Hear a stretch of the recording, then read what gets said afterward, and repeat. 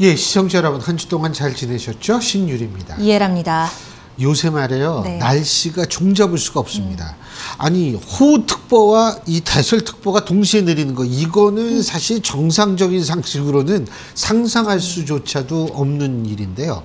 그런데 이 기후를 닮아가서 그런지 아니면 정치가 기후를 닮아갔는지 기후가 정치를 닮아갔는지 모르지만 우리 정치도 지금 예측이 도저히 가능하지 않은 상황으로 들어가고 있습니다. 한마디로 시계 제로라고 얘기할 수 있는데요. 지금 정치권에서는 이른바 빅뱅이 일어날 것인가가 초미의 관심이 모아지고 있고요. 그리고 사실 그 관심, 뜨거운 관심의 중심에 서 계셔서 가장 뜨거운 관심을 갖는 분. 아마 이렇게만 얘기를 해도 여러분이 누군지 벌써 다 아실 겁니다. 이분의 한마디 한마디 더 주목하시는 분들 참 많은 것 같습니다. 이상민 의원과 함께합니다. 안녕하세요. 네, 안녕하십니까? 예. 네.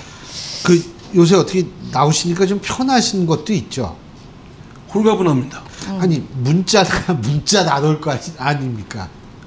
예, 그 전보다는 안 오죠. 그 전보다 아안 지금도? 가는 거다 오긴 오는군요. 예. 예. 뭐 욕하는 사람도 뭐 여전히 아주 애정을 끊임없이 갖고 있으면서 그 우선 법안을 낼 때나 예. 네. 또는 표결할 때 정말 제 양심에 제 소신에 맞지 않는 경우도 많았거든요. 이제 뭐 그런 거 없이 제 소신껏 할 수 있으니까 뭐 부끄럽지도 않고 또 양심의 가책을 느낄 일도 없고 그렇습니다. 그 사실 워낙 또 이 뭐 지역에서나 지역 일도 굉장히 열심히 하시고 그래서 제가 볼 때는 어쨌든 좀 속 시원한 측면은 많으실 것 같아가지고 여쭤봤어요. 얼마 전에 또 이낙연 전 대표 만나셨잖아요. 네. 그래서 이 만남 가지고도 참 궁금해하는 분들이 많아요. 근데 신당 만들까? 이낙연 전 대표가 신당 만들까? 현실화할까? 이거 궁금해합니다. 말씀으로 뭐 신당을 만들자 이런 말씀은 명시적으로 없었고 다만 제가 전체적인 어, 말씀의 취지를 볼 때는 신당을 만들 의지가 상당히 강한 것 같고 뭐 이미 그 저한테도 그랬고 또 다른 매스컴에서도 그렇고 그 준비 작업은 지금 진행 중에 준비는 하고 있답니다 실무자들이 음, 그러면 호남권에서 영향력이 상당히 클 수도 있다. 이렇게 보실까요? 어떻게 보세요? 어, 그건 뭐, 어, 그, 그 이낙연 총리에 대해서 호남에서 애증이 좀 있는 것 같아요. 좋아하는 분은 좋아하는 대로. 또 상당히 호남인답지 않다. 뭐가 좀 화끈하게 좀 이거든 저거든 좀 이렇게 대차게 나가는 모습이 좀 없다. 이렇게 하는 분들도 있고 아니면 뭐 여전히 애정을 가지시는 분이 있는 것 같아요. 그러니까 이제 어, 전, 전에처럼 호남 출신이기 때문에 절대적인 뭐 밀어주기 이런 건 아닌 것 같고요.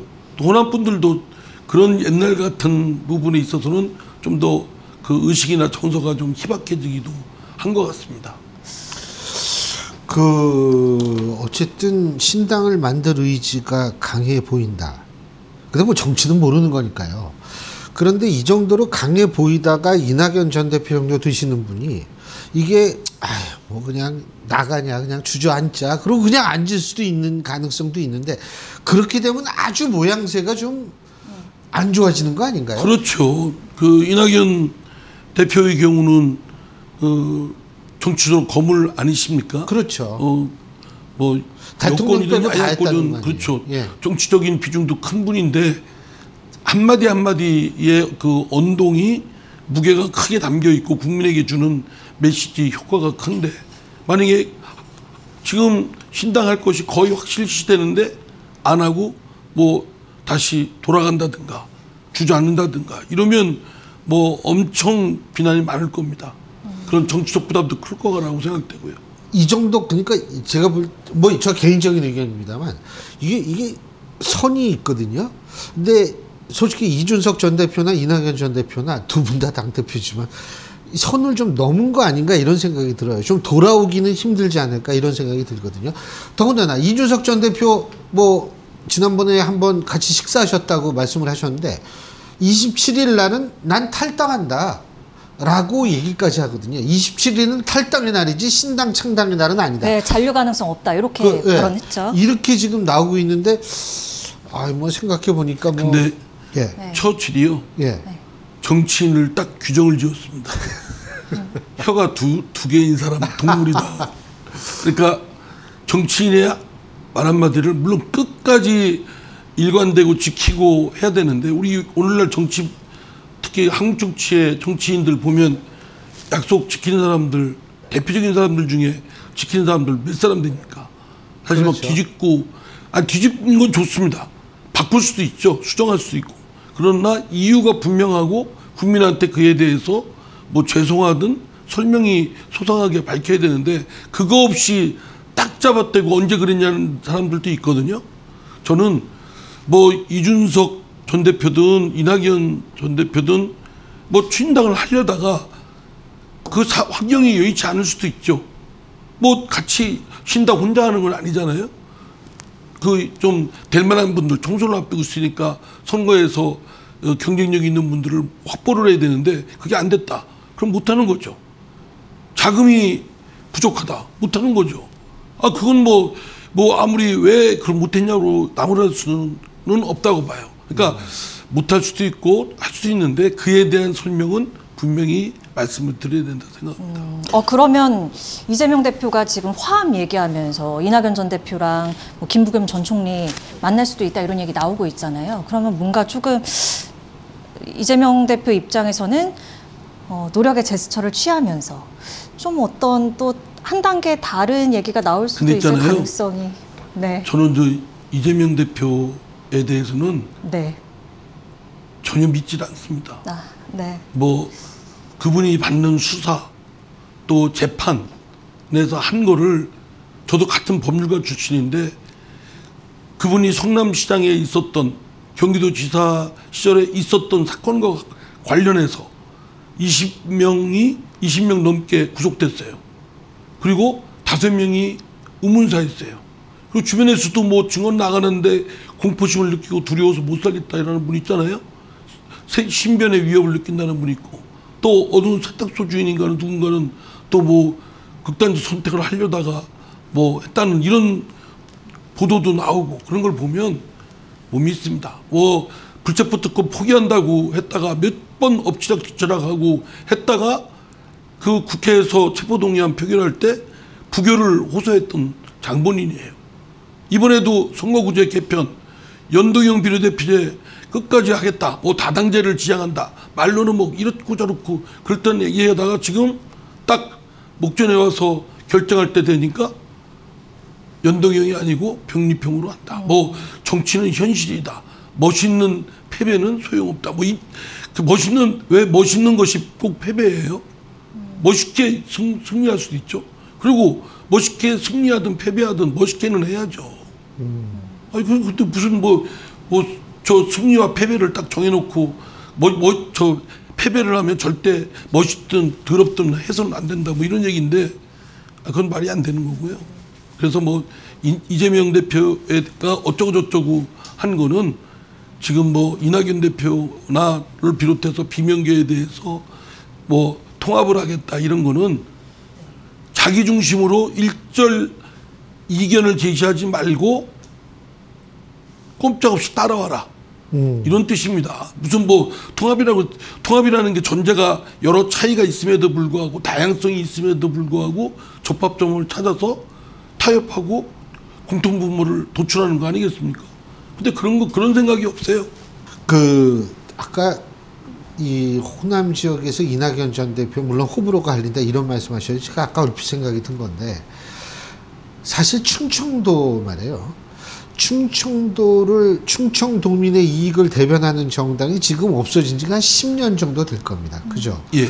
그러니까 자민련, 국민중심당, 자유선진당 이렇게 해서 쭉 내려오다 지금 없어진 지 10년 정도 되는데 사실은 이제 충청 대표적인 이제 그 정치인 하면 이제 김종필, 고 김정필 전 총재가 있으실 거고 그 다음에 심대평 지사도 있으실 거고 사실은 그 이후에는 대표, 아, 저 의원님이 유일한 분이거든요 지금. 그래서 어떻게 그 충청 지역에 있어의 어떤 나름대로 충청 지역의 이익을 대변할 정당의 필요성 못 느끼십니까? 다니면 예. 저도 사실은 충청도 출신인데 그 의식은 좀 희박했고 재선 때 이제 공천 열린우당 민주통합당이죠. 공천이 떨어져서 저 자유선진당으로 예. 옮겨서 이제 당선되셨었죠. 18대 국회의원을 예. 했거든요. 자유선진당은 충청도를 기반으로 한 그렇죠. 당 아니었습니까? 그때 어 이렇게 충청도에 대한 그 애정 뭐 이런 애양심로 뭉쳐 있는 건 처음 느꼈어요. 아, 저도 충청도 사람이고 예. 거기서 살고 있는데 네. 특히 영남 호남이 지배적으로 독과점 누리면서 서로 그 지지고 볶고 싸우는 거에 대한 반감이 많고요. 이제 그러면서 이제 또 민주당 와서 좀 이제 그것이 좀 희박 흐릿해졌죠. 근데 요즘에 다니면서 보니까 많습니다. 어, 제가 그런 것보다는 지역민들이 아니 도대체 영남 호남에 맡겨 해가지고 이거 매일 허구한 날 돌아가면서 어허, 글쎄요. 정권 주고받고 하면서 싸움만 하고 뭐 나라 거덜내고 있으니 우리 충청도에서도 중심이 돼서 하자 이런 움직임이 있습니다. 그렇죠. 그 도대체 충청도 지금 뛰고 있는 어, 현실 정치인들 뭐하냐? 저 남래십니다. 이제 그런 취합하는 것을 하고 있는데 그 지역민들은 그런 게 많습니다. 아니 그 너무 오랫동안 아니 이- 이게 또 이런 우리 시청자 여러분이 오해하실까봐 제가 말씀드리는데 야그 지역 정당 말이 되냐? 어 사실 지역 정당이 있는 건 우리나라에만 있는 현상은 아닙니다. 예를 들면 독일 같은 경우에도요 바이에른주라고 있거든요. 예. 그러니까 바이에른주 그러면은 좀 생소하신 분이 있을 텐데 옛날에는 그 아스피린 많이 먹었잖아요. 예, 예. 그게 바이엘 아스피린 게 바이에른에 그 나온 거거든요. 그다음 BMW 잘 아시죠? BMW의 약자가 뭐의 약자냐면 Bayerische Motor Werkstatt. 바이에른 자동차 공장의 약자. 이게 대단한 의미가 아닙니다. 이게 바이에른이 그 정도로 잘 사는 주인데 바이에른에만 존재하는 정당이 있습니다. 예. CSU라고 하거든요. 기독교 사회 연합이라는 정당인데요. 지역 정당이 있어요. 그리고 예를 들면은 그 지역주의가 굉장히 또 강한 데가 이탈리아거든요. 그러니까 이게 우리나라에만 지역주의가 있고 뭐 지역 정당이 이거 아니라는 말씀을 제가 일단 드리, 예, 예. 드리는 게 왜 그러냐면 혹시 뭐 지역주의를 조장하는 거 아니냐. 근데 이게 우리나라에만 있는 현상은 아니 근데 아니다. 저는요 예. 저 공주 발전을 위한 지역민들이 예. 정치 어떤 결사체를 구성했어요. 예. 그분들은 공주의 발전만을 원하세요. 예. 그러면 그분들 나름대로 정당을 결성하고 활동하는 건 헌법상 기본권 아닙니까? 그렇죠. 근데 그분들이 대구, 서울 이런 발전까지 신경 써야 될 필요는 없잖아요. 예. 그렇지 그렇죠. 않겠습니까? 그러면 그분들의 정치적 결사체를 인정을 해줘야죠. 근데 우리는 사실은 그런 양당의 전국 정당이다 또는 지역주의를 극복해야 된다는 명분으로 사실은 양당의 독과점을 우기 우격 따짐으로 지탱해주고 있습니다. 아하. 그러니까 서울에 중앙당이 있고 5개 시도에 시도당이 있고 1000명 이상의 권리당을 두도록 하- 하고 있거든요. 예. 충남의 발전을 위한 사람들은 충남에서만 지방자치를 하는 분들은 그것만 결성하면 되거든요. 그렇죠. 근데 굳이 부산에 있어야 되고 강원도에 있어야 되고 서울에 중앙당을 둬야 되고 그래서 많은 전문가들께서 교수님 말씀하신 대로 우리도 지역 정당이 있어야 된다. 그래야 중앙 정치의 이 파벌로부터 지방자치가 영향받는 걸 어느 정도 완화시킬 수 있다. 그렇죠. 그리고 기초가 탄탄하기 때문에 오히려 양당의 이런 휘둘림에 막아주는 방파제 역할도 할 수 있다. 그렇죠. 래서 많은 전문가들이 이제 그런 지적을 해주시고 그래서 제가 법안도 냈습니다. 음. 정당법에 중앙당 서울에 중앙당을 두고 5개 시도당 이상을 두고 1000명 이상 당원 등을 다 없애고 하고 싶은 사람 정당 결성 마음대로 하고 오프라인뿐만 아니라 온라인에서도 할 수 있도록 어허. 그럼 비용도 안 들죠. 예, 그렇죠. 요- 요렇게 신 교수님 모시고 신 교수님을 당 대표로 하면서 이렇게 아이, 할 수도 있죠. 네. 근데 어쨌든 제가 그래서 이제 여쭤봤어요. 네. 국민의힘 얘기 좀 여쭤보도록 예. 하겠습니다. 김기현 대표 거치놓고도 참 뭐 내려놔라, 나오지 말라, 뭐 이런 얘기가 참 많아가지고요. 예. 전화 받으셨던. 어, 네. 전화 받으신 거 맞죠? 아, 저- 어제는 그- 네. 2004년도부터 네. 네. 저는 열린우리당, 그 김기현 예, 대표는 그 한나라당 이렇게 해서 네, 네. 연배도 거의 뭐 비슷하고 그래서 친하게 지냅니다. 아. 그분도 뭐 저 성품이 좋고 네. 또 저하고도 잘 이렇게 하고 그래서 아주 뭐 친하게 지내고 이렇게 덕담도 주고 서로 도와주려고 하는 딸이 있기 때문에 전화하고 만나는 건 사실 일상적인 일입니다. 특별한 경우가 아닌데 이제 제가 이제 더불어민주당에서 어, 당내에서 여러 가지 핍박도 받고 또 이렇게 뭐 하고 당도 나 결별하고 뭐 이러니까 이제 국민의힘 대표로서 저에 대한 어, 좀 국민의힘으로 와서 같이 하- 하자 이런 얘기는 있었죠.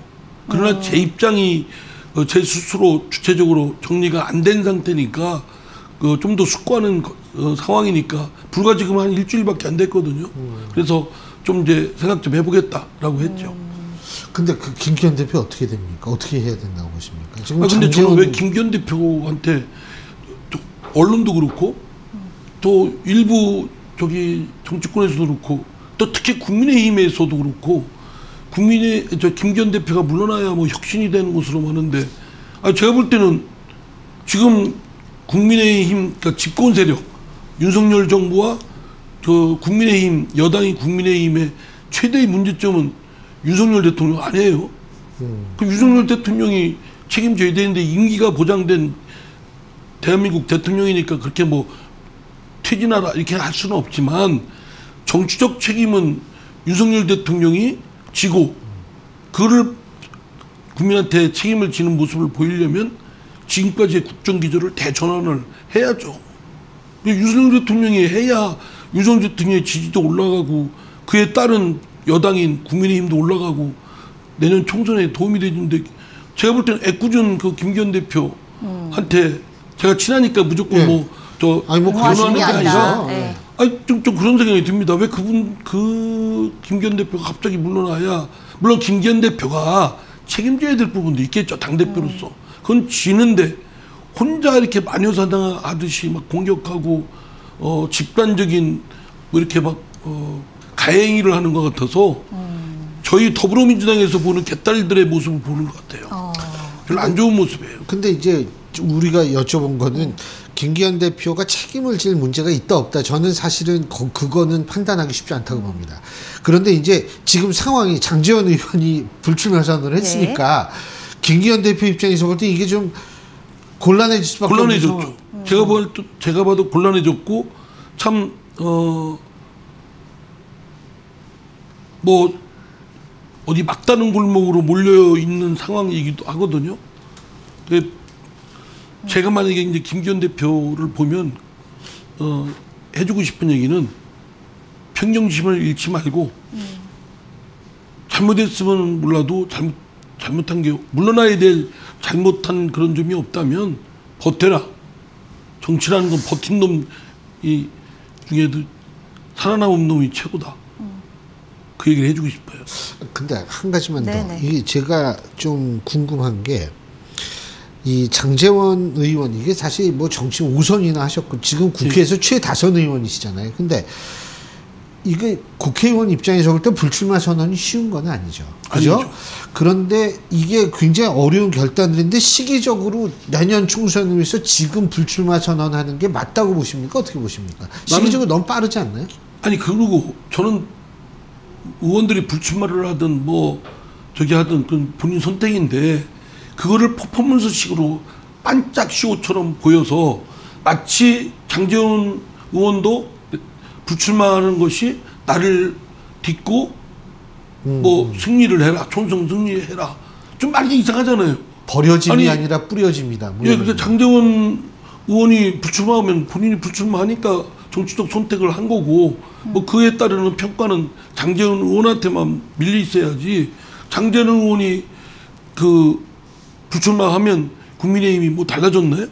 음. 윤석열 대통령의 국정기조가 달라졌습니까? 하나도 뭐 달라진 것도 없는데 그런데 역대 정권이나 정당들이 선거를 앞두고 꼭 늑대가 밀가루 뒤집었으면 양이 되는 것으로 이렇게 자, 그렇게 저 호도하는 그런 것들이 많습니다. 뭐 갑자기 뭐 뭐 한 것처럼 뭐 신인 특히 막그 어, 젊은 사람 또 이름 아주 순수한 사람 같은 사람을 네. 딱 데려와서 이렇게 달라졌다. 하지만 그거는 호도용이죠.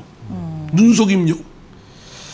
뭐 이제 국민의힘 놓고 비대 뭐 지금 견해된 말씀을 해주셨지만 비대위로 가게 되면 거기에 이제 뭐 원희룡 장관이나 한동훈 장관이 역할을 해줄 것이다 뭐 이런 얘기들이 많이 나와서 여쭤보는데 뭐 한동훈 장관 총선 출마를 하면 또 당내에서 어떠한 역할을 하면 국내 힘이 확실히 힘을 얻을 것이다 뭐 아닐 수도 있다 그러니까요. 오늘 그게 다 눈속임 용이라고 생각되는 겁니다. 그러니까 국민들한테 국민들이 바라는 갈증을 느끼는 게 있어요. 진짜 달라진 모습. 국민을 보고 진짜 국민을 위해서 민생을 위해서 초집중하고 그냥 소모적인 싸움 하지 말고 상식의 정치를 해주길 바라는 게 있거든요. 근데 누구 한동훈을 내세우면 어떻게 돼? 한동훈 장, 장관이 무슨 신입니까? 너무 과중한 책임을 지우는 거. 제가 볼 때는 한동훈 장관 잘못 잘못하면 망가지게 하는 겁니다. 선거를 만약에 해서 어떻게 한동훈 장관이 혼자 다 그걸 해낼 수 있어요? 못합니다. 그거는.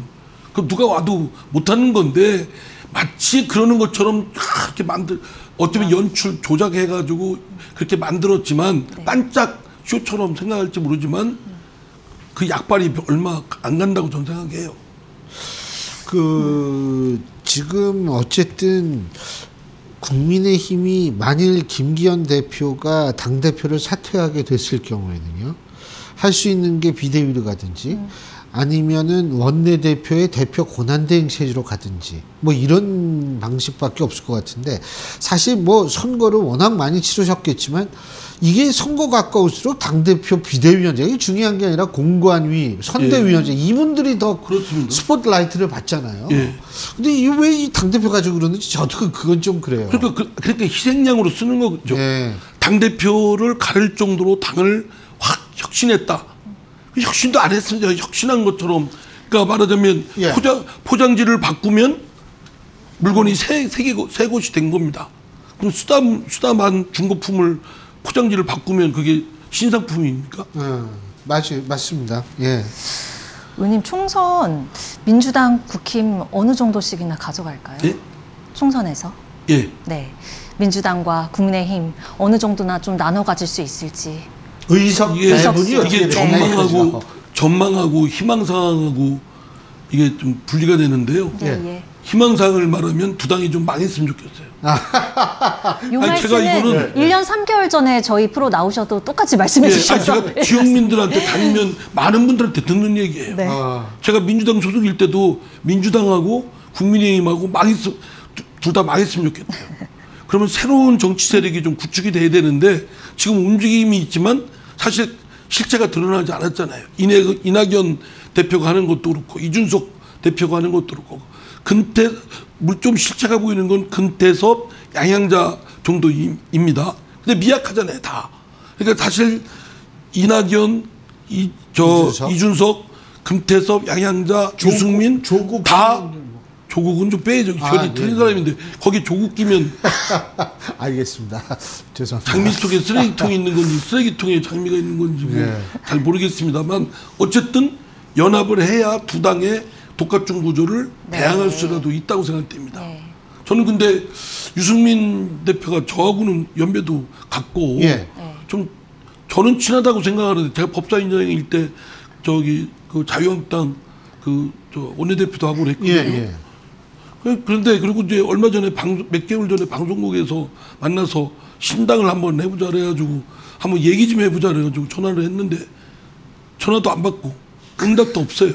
근데 전화 잘못 알고 있나 싶어서 어느 방송에 나왔 나오길 나왔길래 작가님한테 물어봤더니 똑같아요. 그러니까 제 전화를 안 받는 거예요. 제 전화를 안 받고 제 전화뿐만 아니라 많은 사람들이 전화를 안 받아서 원성이 많더라고요. 아, 그이 방송 유승민 원내대표가 좀 보면 전화 좀 받아주세요.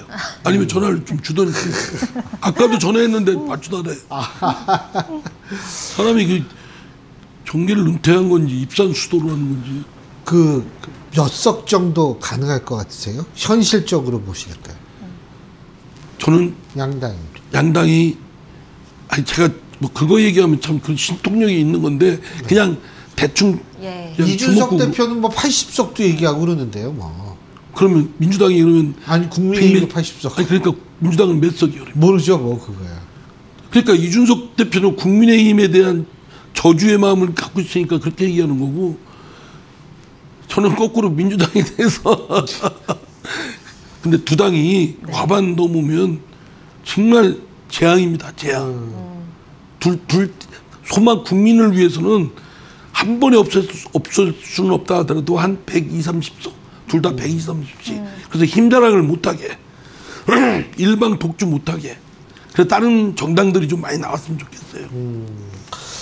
네. 아, 알겠습니다. 뭐 지금 워낙 근데 이게 사실 이번 총선 원래 총선 가까우면 신당 얘기들 많이 나오고 신당 많이 만들어지는데 이번엔 특이한 게 뭐냐면 전부 양당의 전직 당 대표들이 나와서 이 신당을 만들겠다. 과거엔 이런 적은 없었던 것 같아요. 예, 그렇죠. 네? 그 이게 요번에 굉장히 네. 특이한 점인데 뭐 앞으로 이게 어떻게 돌아가는지는 뭐 이제 네 달 후면은 알 수는 있을 것 같은데 뭐 어떻게 진로는 정하셨어요? 아직 정하지 아, 못했죠? 당이요? 당이요. 어, 간, 가능하면 질질 끌려고는 안 하지만 네. 지금 딱 보면 온전한 당이 없잖아요. 예. 그러니까 온전한 이제 민주당으로 다시 갈, 갈 수는 없고. 아, 그렇죠. 예. 이제 남아 있는 건 신당, 국민의힘 둘 중에 하나입니다. 예. 그래서 신당은 어떻게든지 한번 접합을 위한 노력을 해보고 그 신당이 없으면 달리 방법이 없어요. 음. 저는 뭐 무소속이냐 그러면 국민의힘이냐 할 때 무소속은 사실은 현실적으로 좀 많이 힘, 힘들다는 얘기 듣고 자신이 없습니다. 그래서 음. 이왕 출마한다 출마한다면 뭐 받아준다면 뭐 국민의힘도 생각을 하는. 거죠. 아 1월 달까지는 결정을 하셔야겠네요. 1월 초 정도. 아 그러면요. 아니 네. 1월 어, 가능하면 어, 1월 넘어가지 않을 아니 음. 1월 전에 하려고 합니다. 올해 안에. 얼마 안 남아요. 네, 그러네요. 예. 저희가 이 의원님이 어떤 선택을 하시는지 저희가 정말 아주 관심 있게 지켜보겠습니다. 지금 대한민국 해주시고요. 그럼요, 당연하죠. 정치적 중립성을 네. 지키지 마시고. 이게 뭐냐면 아 우리나라 대한민국 국회에서 최 다선 의원 중에 예, 한 예. 분이신데 아니, 저신 교수님이 한 번 저한테 YTN이시죠. 예, 예. 전화하셔서 갑자기 전화 주셔가지고 출연하면서 이 은혜 절대 잊지 않겠다고 하셨으니까. 맞습니다. 제가 한번 옛날에 그랬어요. 어, 이- 기억하시는 그걸 다. 기억하시네. 알겠습니다. 아유 어쨌든 저희가 진짜 관심 있고 또 어, 개인적으로는 저도 굉장히 이상민 의원님의 팬이기 때문에 어, 제가 열심히 또 제가 할 수 있는 한도 내에서는 응원을 하겠습니다. 오늘 말씀 여기까지 듣겠습니다. 예, 고맙습니다. 감사합니다. 예, 지금 보셨죠? 말을 함부로 하면 안 됩니다. 다 기억하고 계십니다. 예. 아, 근데 이제 연말이고 해서 여러분들 굉장히 바쁘실 텐데, 어, 이럴 때일수록 건강이 제일 중요한 것 같습니다. 저도 계속 저녁 자리가 많은데, 저도 건강 굉장히 조심하려고 노력하고 있습니다. 여러분들도 자, 건강 계속 유, 저, 관리 잘 하시고요. 또 남은 기간 파이팅 해주시기 바라겠습니다. 네, 건강 잘 챙기시고요. 저희는 다음 이 시간에 인사드리겠습니다. 함께 해주신 여러분 고맙습니다. 고맙습니다.